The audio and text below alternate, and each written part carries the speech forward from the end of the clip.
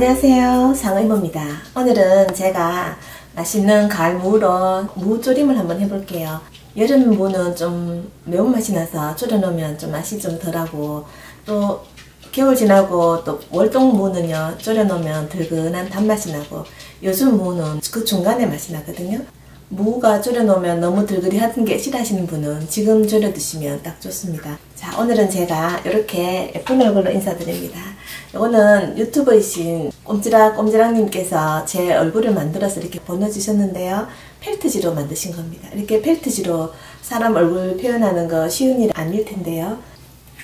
자 이렇게 아, 예쁜 얼굴을 만들어주신 꼼지락꼼지락님께 감사드립니다. 그리고 요거 만드는 영상 만드는 과정은 제가 더보기란에 링크 걸어 놓을게요. 한번 만드는 과정을 한번 보시는 것도 재밌을 것 같네요.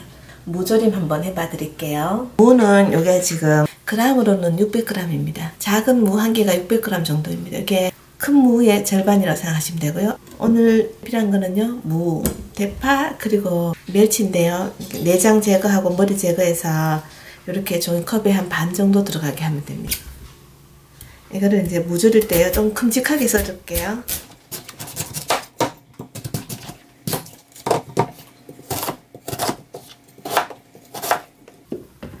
정도로 썰겠습니다.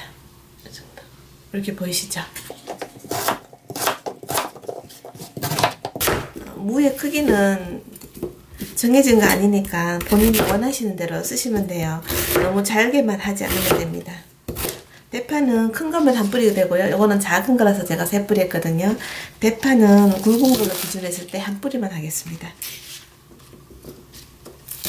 멸치에 비린 맛이 싫으신 분은 전자레인지에 살짝 1분 정도만 돌려도 될 것 같고요. 괜찮다 싶으면 이렇게 그냥 쓰시면 됩니다. 저처럼. 아, 멸치 육수 있으신 분은 이거 안 쓰고 바로 육수 부어서 하셔도 돼요. 자, 종이컵에 물을요. 한 컵하고 반 컵을 더 넣습니다. 고추장을 한 스푼 진간장은 하나 오늘 무가 조금 양이 많다 생각하시면 돼요. 둘, 네 스푼 넣고요. 여기다 이제 하나 더 넣고 다섯 푼 스푼 넣어도 되고요. 아니면 저처럼 마지막 한 스푼은 액젓을 쓰셔도 돼요. 저기 멸치 액젓 한 스푼 이렇게 쓰셔도 됩니다. 지은 마늘을 한 스푼 넣고요. 멸치 여기 종이컵 반컵입니다. 후춧가루 약간 넣을게요. 이것도 멸치 때문에 넣는 겁니다. 여기서 주의하실게요. 가을 무가 이제 맛있다 해도 봄에 나오는 그 월동무만큼 맛있진 않거든요. 가을 무가요 여름 무보다 맵지 않다는 것 뿐이지 어떨 때는 조금 단맛도 나오고 어떤 거는 그래도 약간 좀 부족한 맛도 나오고 그래요. 그럴 때는 물엿을요 세 스푼 넣어줍니다. 이렇게 하나 둘 그런데 이제 설시고 나오는 월동무일 경우에는요 물엿을 한 개만 넣어줘도 되고 두 개만 넣어줘도 됩니다. 요거보다 줄이셔서 하는 게 좋아요. 무가 단데 물엿까지 세 스푼 넣으면은 아 제가 올리고당이거든요. 올리고당까지 이렇게 세 스푼 넣으면은요 더 달 수 있어요. 그래서 설시고 나오는 월동무일 경우에 꼭 물엿은 하나나 두 스푼만 넣어주시고요. 그 외에는 다 세 스푼 넣으시면 돼요. 그 월동무가 봄 조금 지날 때까지 나오죠. 한 4월까지 5월까지도 나오던가 아무튼 여름에 그 무 나오기 전까지 나오는 게 바로 그 월동무입니다.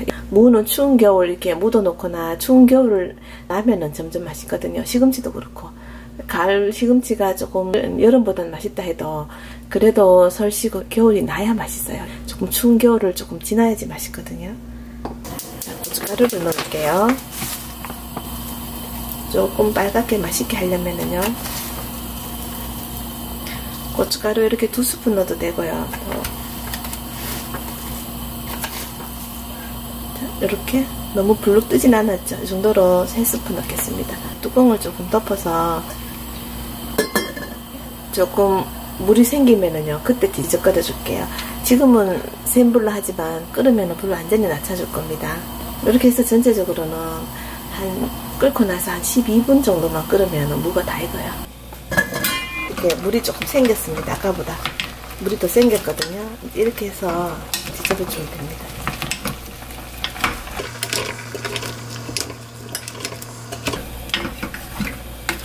자, 이렇게 골고루 섞어준 다음에요. 뚜껑을 덮어 놓고요. 어, 좀 불을 낮춰 놓습니다. 지금 약불이고요. 이렇게 해서 좀 푹 끓일게요. 이제 국물을 좀 졸이면서 물을 좀 익혀야 되거든요. 끓고 나서 한 5분 지났는데요. 한 반쯤 익은 것 같아요. 여기서 국물이 아직 좀 남아있거든요. 이게 국물이 좀 남아있어야지 밥도 비벼 먹고 하거든요. 그 국물로. 또, 또 국물이 너무 많으면 또 양념이 잘 어우러지지 않아서 적당히 잘 이렇게 해줘야 돼요. 자, 이렇게 국물이 아직 좀 남아있죠. 이렇게. 이거를 불이 가장 약하게 이제 맞추신 다음에 이제 졸이시는 거예요. 불 아주 약하게 해주시고요. 또 뚜껑을 덮고 조금 더 졸일게요. 자, 이제 한 12분이 딱 지났는데요. 이렇게 국물이 짜작짜작하게 있습니다. 이렇게. 이 정도에서 다 됐습니다. 아까도 말했지만 이게 지금처럼 여름이나 가을에는 요것처럼 이제 물엿을 한 3스푼 정도 넣어주고요. 설 쉬거나 겨울 지나죠. 12월 지난 1월부터 봄에 나오는 거는 좀 많이 달달하거든요. 그 무는 물엿을 한 스푼만 넣고 하셔도 충분히 달달한 맛이 나요. 물을 한번 담아 볼게요. 이게 양이 좀 상당히 많은 편이거든요.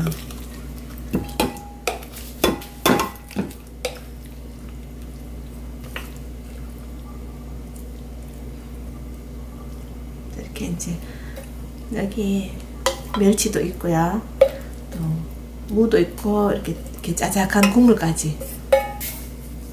자, 저는 오늘 참기름을 안 넣었는데요. 마지막에 참기름 한 반 스푼 정도 돌리셔도 돼요. 이렇게 무조림이 완성되었습니다. 상의모였습니다. 감사합니다.